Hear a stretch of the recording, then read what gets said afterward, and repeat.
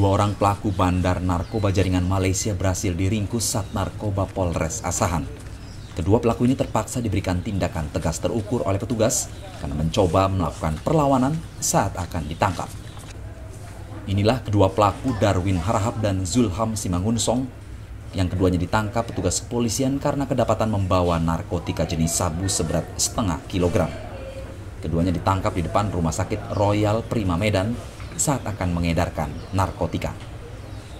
Selain menangkap kedua pelaku serta menyita sabu seberat setengah kilogram, petugas juga menyita sepucuk senjata air soft gun, uang tunai, dan ATM milik pelaku. Penangkapan kedua pelaku ini merupakan hasil dari pengembangan pelaku lainnya bernama Bakri yang sebelumnya telah ditangkap terlebih dahulu.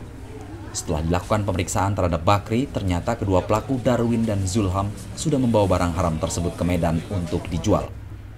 Mendapat informasi tersebut, petugas kemudian langsung bergerak cepat untuk memburu dan menangkap kedua pelaku.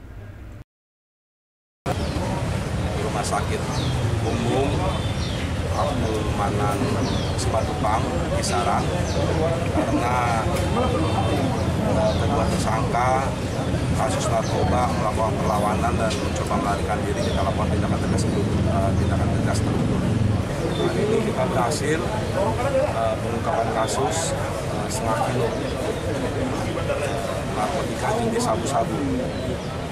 Untuk uh, kronologisnya ini merupakan pengembangan dari tersangka atas nama Bakti di kisaran lalu kita kembangkan kemarin tim bergerak ke Medan.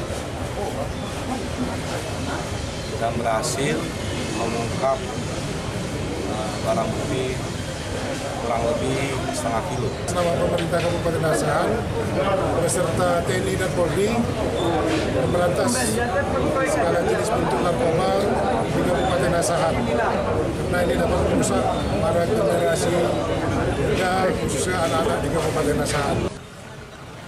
Kini kedua pelaku beserta barang bukti dibawa ke Sat Narkoba Polres Asahan guna menjalani pemeriksaan dan terancam dikenakan pasal 114 junto pasal 112 Undang-Undang Narkotika dengan ancaman hukuman kurungan penjara seumur hidup. Dari Sumatera Utara, Rashid Ridho, Tribrata TV, salam Tribrata.